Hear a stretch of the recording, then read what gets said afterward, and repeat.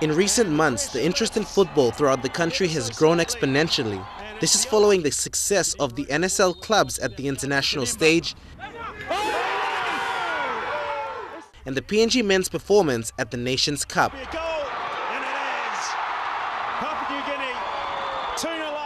Following the launch of the Under-20 Women's World Cup Winners' Trophy, OFC President David Chung now believes that PNG can also host other major football events. Uh, hopefully when we finish the World Cup, we talk about, like before, I have a dream that I wanted to host a FIFA Congress here in Papua New Guinea.